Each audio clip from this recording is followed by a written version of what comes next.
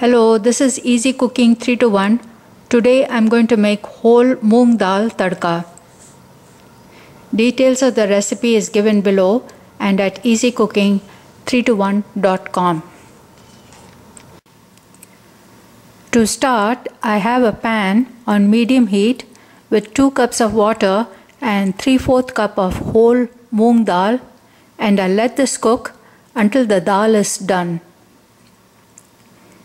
I'll add water as necessary for the dal to cook. To save time, you can cook the dal in a pressure cooker. While this is cooking, I'll prepare the spices for grinding. To grind, I'm going to use some chopped tomatoes, some chopped onions. I'm using one cup of chopped onions for this dish. Half I'll grind, the other half I'll use to saute. Some ginger and green chilies to taste.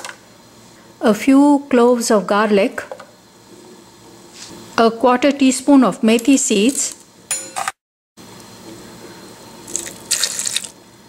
I'll add a little bit of water and grind this to a smooth paste.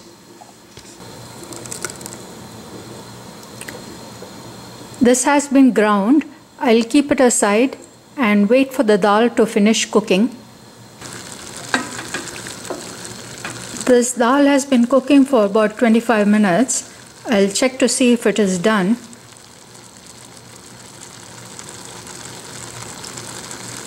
If it gives in easily, it is done. I'll turn the heat off, keep it aside, and start preparing the gravy.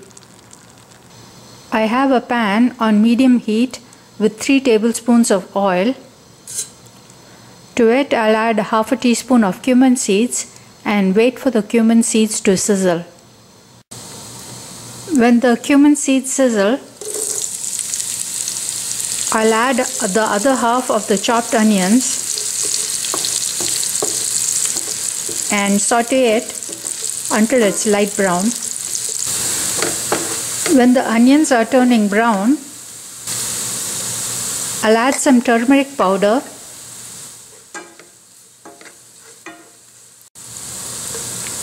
Some red chili powder to taste, some ground coriander.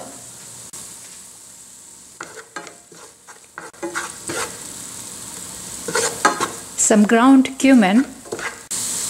And some garam masala. After each addition, I'll saute it for 10 seconds. Add the ground spices. Mix them well. And I'll cover and let it cook for 5 minutes.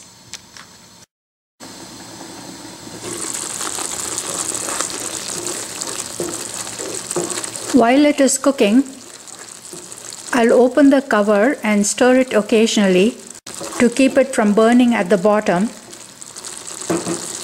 The combination of the ground spices is so wonderful that a very nice aroma is given out while this is cooking.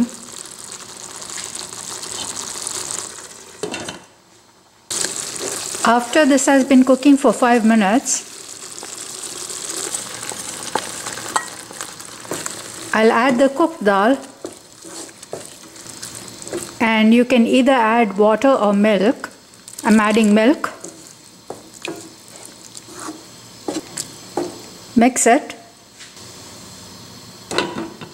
and I'll cover and let this cook until everything has come to a good boil.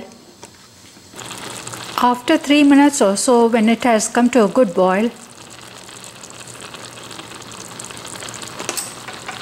I'll add some salt to taste, some chopped cilantro leaves or dhania pata, and some lemon juice. Mix it. Let it cook for a minute or so. Turn the heat off and this is now ready to serve. To make this dish richer, you can add 4 tablespoons of melted butter at the end. It is optional. This is an amazing tasty dish. You can serve it with chapati or rice or any grain. I want to thank Ramachandran for this recipe. Good food that was easy cooking. I hope you'll try it sometime. Thank you for watching.